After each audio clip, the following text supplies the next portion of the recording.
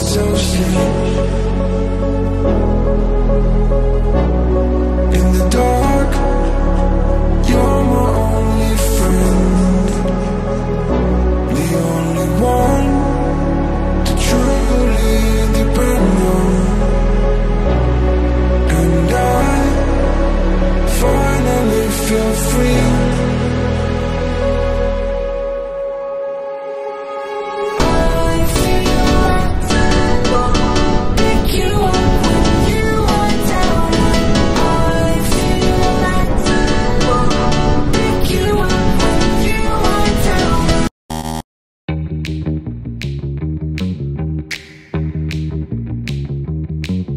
Les amis, c'est Jimmy, j'espère que vous allez bien. Aujourd'hui, on se retrouve pour l'essai de la Sim 500 TL. C'est un modèle 2020. Alors, c'est une machine qui m'a gentiment été prêtée par la concession King Moto à Marseille. Je vous affiche leur Instagram. Alors, c'est une concession qui va travailler avec euh, les marques CF Moto, J-Motor, Honda, mais aussi Piaggio. Donc, si vous passez par là, n'hésitez surtout pas à vous arrêter. Les amis, ça va faire 8 mois que j'ai lancé ma chaîne et je suis super content que ma chaîne marche et que mes vidéos vous plaisent. Donc, je demande à tous ceux qui verront cette vidéo et qui vont la trouver sympa à regarder, de Pour vous, il suffit juste d'un clic, mais pour moi, ça veut dire beaucoup. Ça me donne énormément de force pour continuer. Bon, c'est parti pour la présentation de ce Sim 500 TL modèle 2020. Bon, pour le moteur, qu'est-ce qu'on a? Alors, on a un bicylindre en ligne à refroidissement liquide. La cylindrée sera de 465 cm3, norme Euro 4. Pour la puissance, vous avez 40,8 chevaux à 6750 tours minute. Vous avez un couple de 42 Nm à 6250 tours minute. Pour la transmission, alors vous avez un variateur automatique. Transmission finale se fera par chaîne. Oui, vous avez bien entendu. Donc, c'est pas une courroie, mais c'est une chaîne. Bon, au niveau des performances, VMAX 148 km/h. Donc, c'est vraiment pas fantastique, hein, je trouve. 148. Euh, sur autoroute à 130, c'est tout juste assez pour dépasser.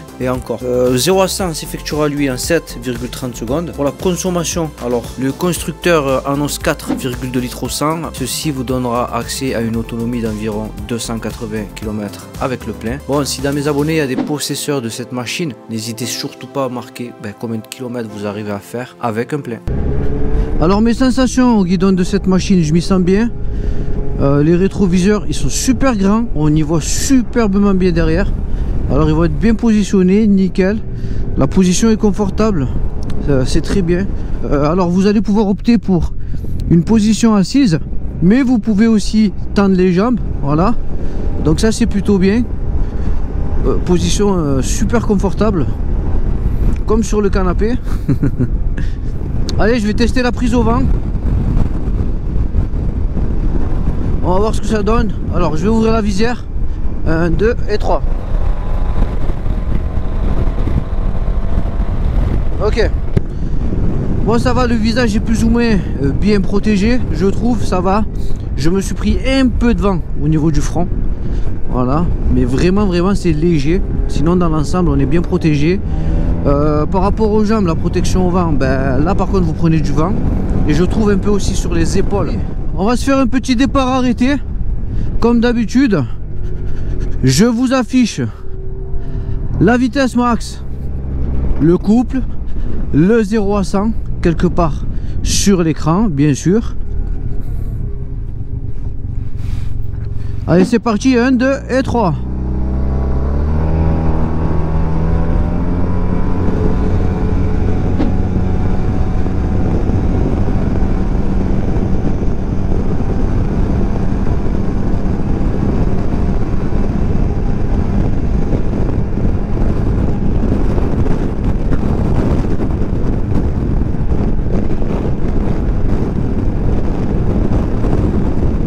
Ok. Bon, qu'est-ce que j'ai à dire au sujet de l'accélération? Bon, déjà une chose, l'accélération n'est pas brutale. Voilà, c'est linéaire. La machine, elle va accélérer vraiment, on le sent que ça va être progressivement. Voilà, ça va pas être brutal comme sur un, T-Max. Vous sentez que la machine, ben, il lui faut monter dans les tours pour pouvoir vous délivrer ben, de la puissance au fur et à mesure. Sinon, mis à part ça, l'accélération est bonne. Voilà, ça marche euh, vraiment bien. Si je devais la classer, cette machine, je la mettrais entre les 3,5, les 350 et les, et les 500 T-Max. Voilà, elle se situe vraiment là. Alors, ça va être mieux qu'un 3,5, mieux qu'un 400.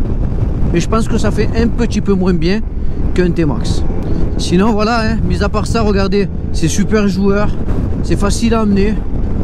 Euh, aussi une chose, lors de l'accélération, voilà, j'ai j'ai ressenti aucune aucune vibration. Voilà. Vous sentez que c'est un châssis de moto qui se cache à l'intérieur de ce scooter. Voilà. Donc il n'y a pas de vibration, pas de mauvaises informations qui sont renvoyées au pilote. Non, ça réagit vraiment très bien. Donc tout ça, euh, c'est plutôt pas mal. Bon, cette machine fera une longueur de 2215 mm, une largeur de 800 mm, elle aura un empattement de 1543 mm, la hauteur de selle, elle, culminera à 795 mm, comme vous pouvez voir, je fais 1m72, j'ai les pieds à plat par terre. Cette machine fera un poids de 223 kg tout plein fait. Perso, je trouve que pour un 500, ça fait un peu lourd. Euh, du coup, ça va se répercuter bien sûr sur la vitesse max, mais aussi sur l'accélération. Bon, malgré son poids, euh, vous avez des poignées passagers à l'arrière qui vous faciliteront ben, les manœuvres à basse vitesse et éventuellement à l'arrêt. Bon, cette machine sera équipée pour le freinage avant de deux disques de 275 mm avec des étriers radio à 4 pistons plus de l'ABS. Pour le freinage arrière, vous avez un disque de 275 mm plus de l'ABS aussi et vous aurez un réservoir de 12,5 litres. Allez, on va tester le freinage. On commence par le frein arrière. Allez, c'est parti. 1, 2, je pile. Ok. Bon, le frein arrière. Vous sentez qu'il y a du mordant, mais ça suffira pas, bien sûr, comme d'habitude. Alors, on va aller tester le frein avant, mais avant on va tester l'angle de braquage. Alors l'angle de braquage ça donne ça. Allez on envoie tout. Super facile, voilà. Allez, je valide ça en roulant.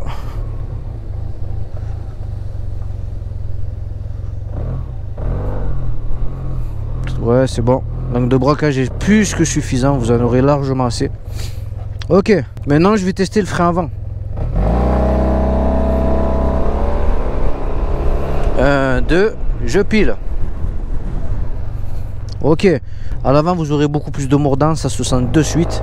Allez, maintenant on va se tester le freinage combiné et on va voir ce que ça donne. 1, 2 et 3. Waouh, en combiné, ça freine super bien. Voilà, rien à dire. Bon, par rapport à la prise en main, comme vous avez pu voir, je fais 1m72. J'ai les pieds facilement posés à plat au sol. Donc euh, je pense que cette machine va être plus ou moins accessible à un petit peu tout le monde. Voilà. Donc comme je vous disais, cette machine, s'il fallait la classer, je vais la classer.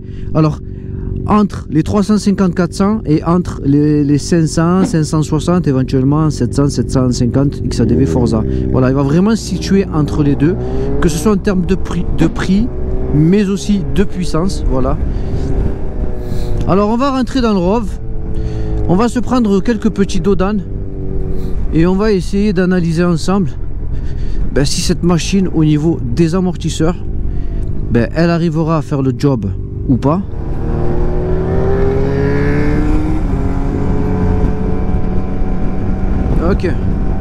Non, vraiment, l'accélération est pas, est pas mal. hein.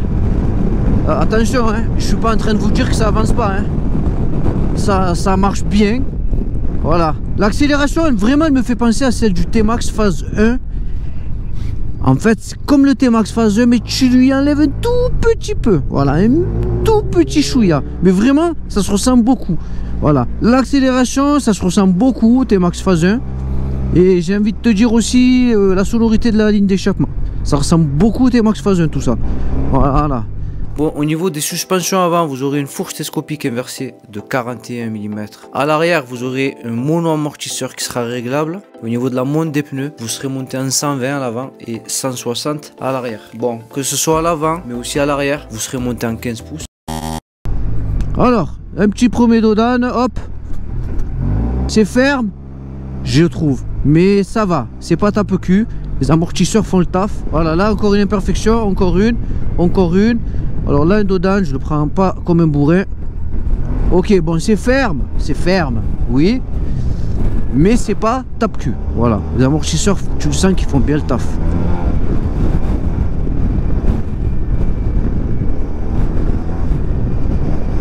Après voilà, une fois que la machine est lancée, euh, hop, hop, hop. Non, vraiment, vraiment, ça va. Je trouve que les amortisseurs, il n'y a rien à signaler à ce niveau-là. hein. Ça fait plus ou moins bien le taf. Ils sont pas exceptionnels, mais. Mais ils sont pas bidons. Voilà.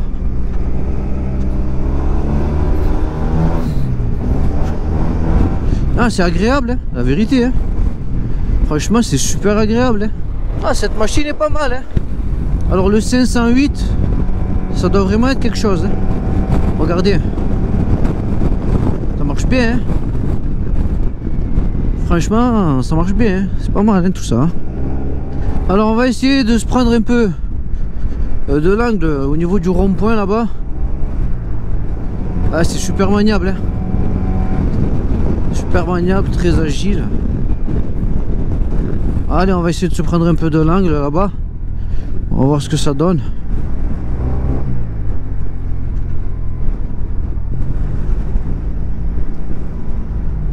Ça réagit bien. Ouais, non, non. Pas de problème. Hein. On va le mettre sur l'angle. Ah, la machine, tu le sens que elle y arrive. hein. Voilà. Regarde. Non, la prise d'angle, c'est bon. Il a pas de problème. Ok.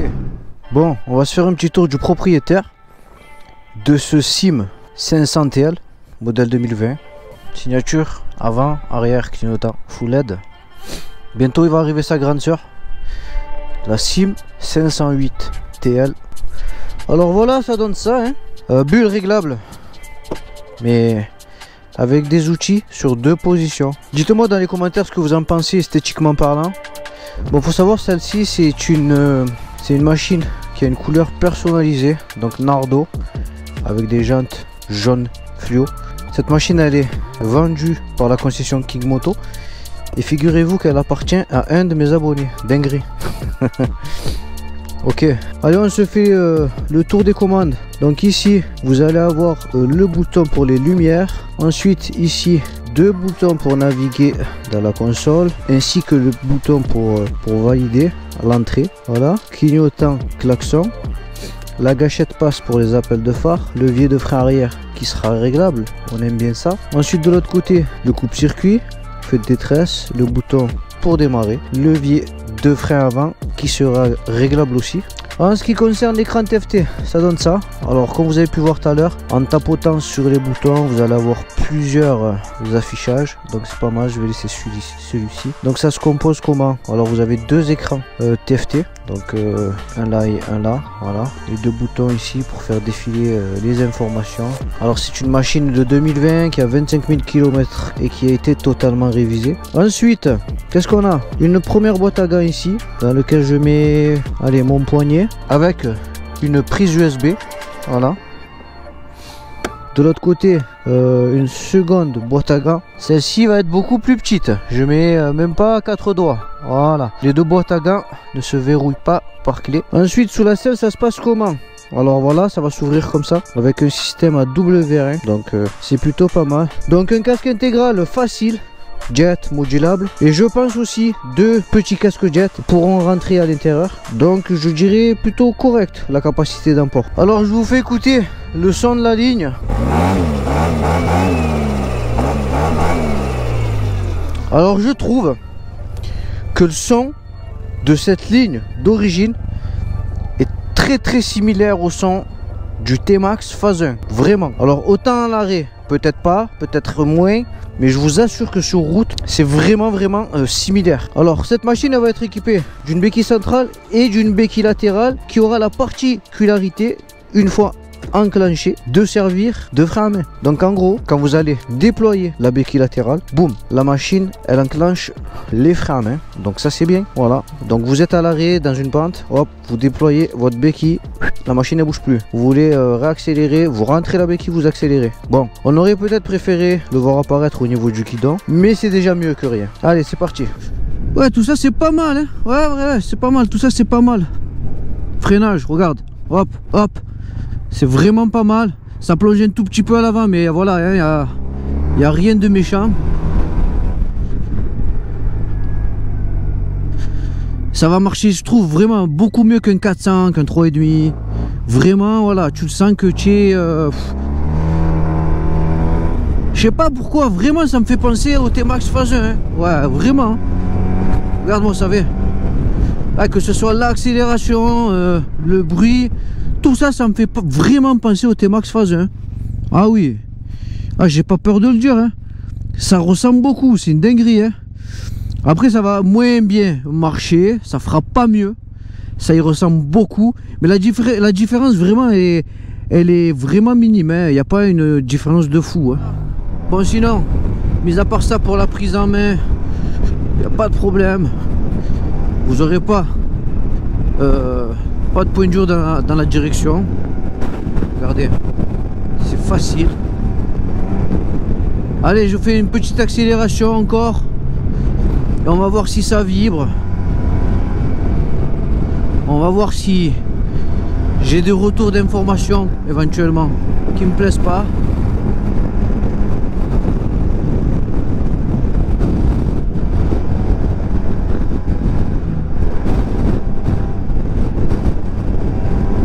Vraiment, regardez. Regardez. Vraiment, c'est un très bon comportement. hein. Super bon comportement. Après, le 508, il marche encore mieux. Voilà. Sur le 508, en gros, ce qu'ils ont rajouté, ben, ça va être euh, au niveau des centimètres cubes, il va être un poil plus puissant. Celui-là, il a 42,5 Nm de coupe, je crois. Le 508, je crois qu'il a 47,5 euh, au niveau du coupe. Ouais, c'est pas mal, c'est pas mal. Vraiment, c'est pas mal tout ça.